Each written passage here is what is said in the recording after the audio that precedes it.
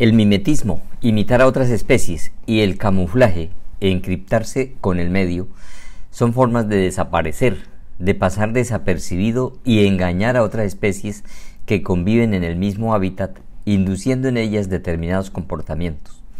Son mecanismos adaptativos para obtener ventajas funcionales, los casos más conocidos afectan a la percepción visual, mientras los menos conocidos se relacionan con el mimetismo auditivo, olfativo, visual y táctil. Un primer tipo de mimetismo, llamado batesiano, es el que se presenta entre dos o más especies físicamente iguales o muy similares. Una especie es inofensiva mientras la otra tiene algún mecanismo de defensa, venenos, espinas, aguijones, etc. Por ejemplo, hay casi 90 especies de coral venenosas y otro grupo de especies de corales no venenosas, llamadas falsas corales, cuyo mimetismo o parecido a las venenosas las benefician de la protección propia de estas. Un segundo tipo de mimetismo llamado mulleriano ocurre cuando una especie desarrolla un factor defensivo y otras especies adquieren o imitan dicho factor, como por ejemplo la toxicidad para un depredador. Esto pasa con los colores fuertes de algunas especies de ranas, coloración apostemática, que indican alto grado de toxicidad a sus depredadores. En este caso, todas las especies de colores pronunciados son tóxicas.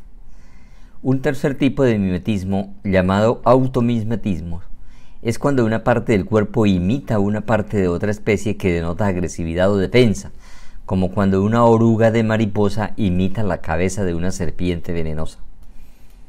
El automimetismo también se utiliza como trampa o cebo para cazar, como cuando ciertas especies de peces están provistas de órganos que imitan un cebo que atrae a la presa. Finalmente existe el camuflaje, en el que una especie se encripta con el medio haciéndose invisible.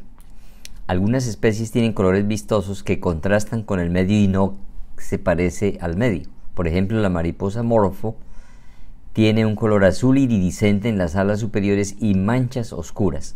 Cuando vuela a través de la luz oscilante del bosque de galería o aún fuera, en la vasta luz solar parece desaparecer totalmente como hago en el truco de este video. Otras especies del bosque, especialmente los mamíferos, tienen manchas que ayudan a desaparecer su silueta. Bajo la sombra del dosel, mamíferos grandes tales como leopardos, jaguares y muchos otros son sorprendentemente invisibles debido a su coloración interrumpida.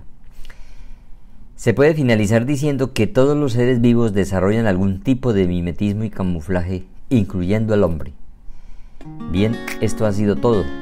Si no eres parte de la comunidad de amantes de la biología y sus numerosas aplicaciones, estás invitado a que se suscriba y referencie este canal para aumentar la cobertura y beneficios de su contenido.